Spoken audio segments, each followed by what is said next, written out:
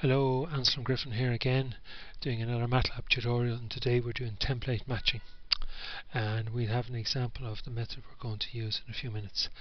The main thing today is we're using a function in MATLAB called normxcorr2, N-O-R-M-X-C-O-R-R-2, that's the figure 2.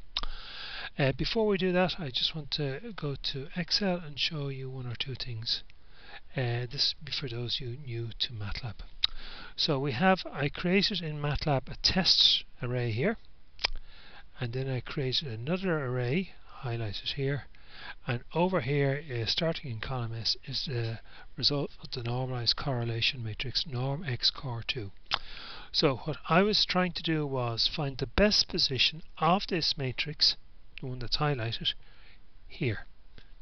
And you can see here if I just move this very slowly that the best position is there. So, but I want to explain the dimensions. This matrix here is a 7 by 7.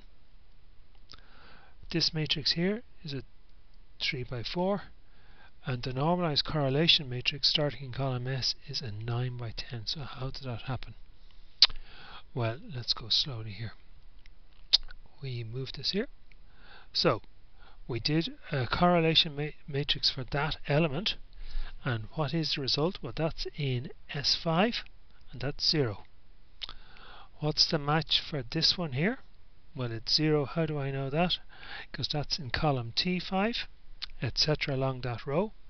Now, if I do the match for here, what's the correlation matrix for that? It uh, that's in S6, and that's 0. What's the correlation matrix for here? Well, that's in T6, and that's minus 0.522.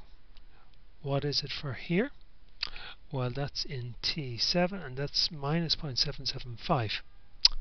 So, if we just go back to here, now go down, that's row 1, column 1, that's in other words corresponding to S5, 2, 3, 4, and now we're in row 4, column 1, row 4, column 2, row 4 column 3 row 4 column 4 and row 4 column 5 and you can see there is an exact match there.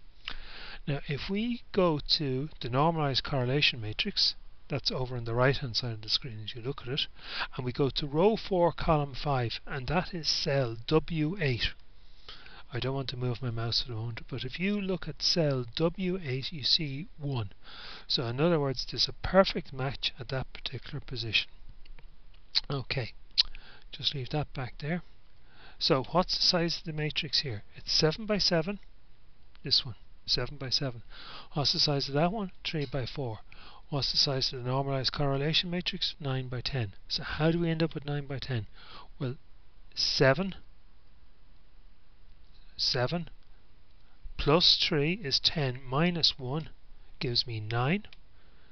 And over here, 7 how many rows do we have? 4. 7 plus 4 is 11 minus 1 is 10.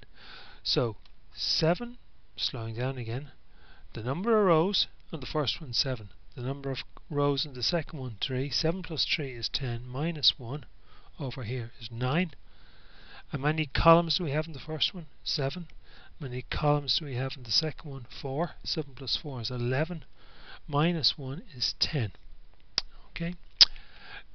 So hopefully that will give you some vague idea if you're new to um, statistics and correlation coefficients and all of that. Okay, so let's go back now to my file here.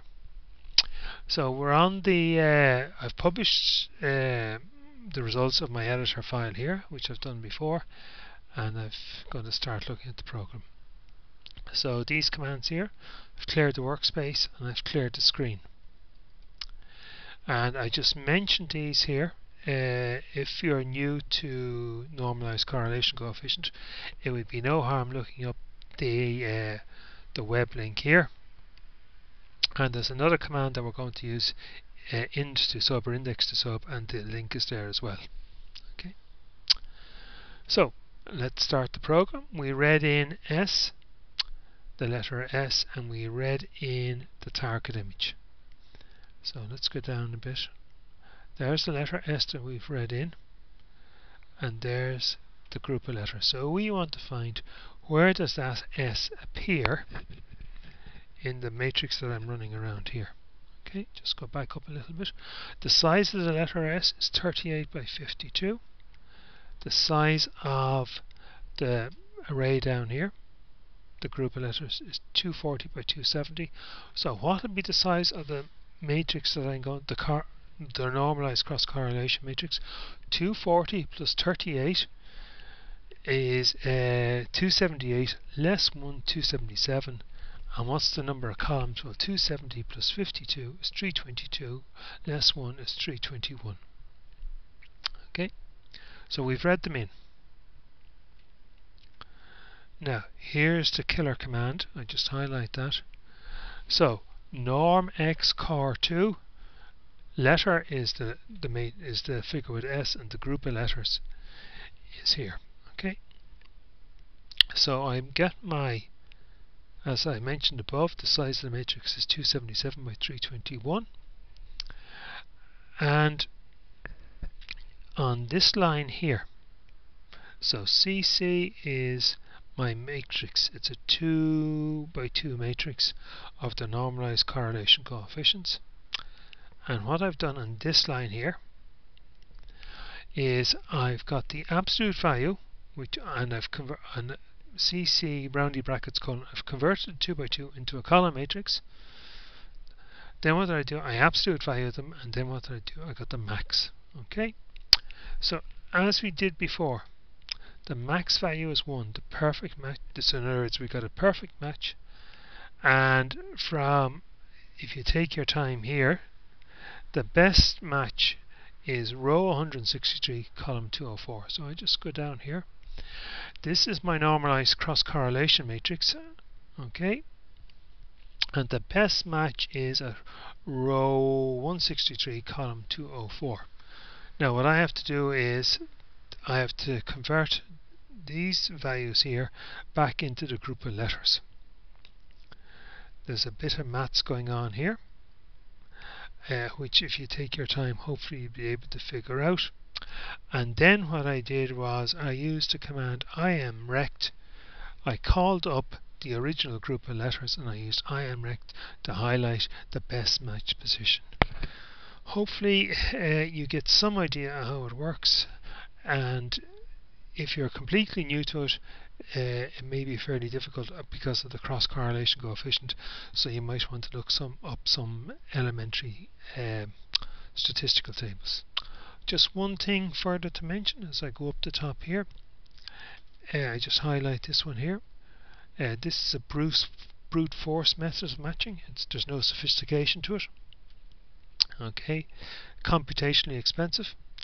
Uh, this method is no good if it's scaling or rotation or any sort of uh, geometric transformation at all. And that's all.